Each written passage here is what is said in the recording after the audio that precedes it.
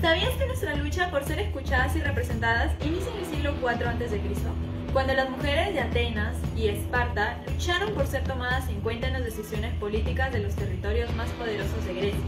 Por esa razón, el día de hoy conmemoramos el Día Internacional de la Mujer, buscando llevar a una reflexión que pueda conseguir logros significativos para mejorar la situación actual de desigualdad que las mujeres aún atraviesan. El 8 de marzo de 1957, en Nueva York, miles de mujeres protestaron contra las inhumanas condiciones laborales.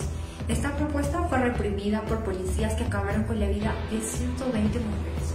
El 8 de marzo de 1908, nuevamente Nueva York presenció una manifestación pan y rosas, donde aproximadamente 15.000 mujeres exigían un aumento de sueldo, menos horas de trabajo, derecho al voto y prohibir el trabajo infantil.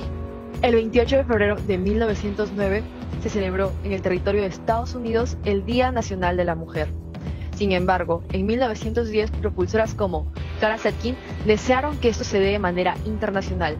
Esto en la conferencia de Copenhague, donde se hicieron más de 17 países. El 19 de marzo de 1911 se celebra por primera vez el Día Internacional de la Mujer en varios países de Europa y Estados Unidos.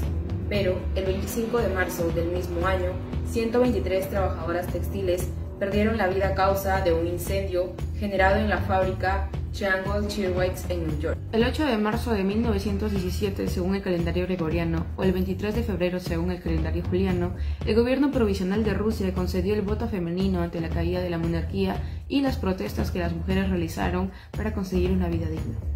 El 7 de septiembre de 1955 en Perú, las mujeres mayores de edad y alfabetizadas obtuvieron el derecho de elegir y ser elegidas en el hogar. Es importante mencionar lo mucho que hemos luchado para obtener lo que hoy tenemos, sin olvidar lo que debemos lograr, manteniéndonos en la búsqueda de vivir dignamente en todos los aspectos de nuestra vida.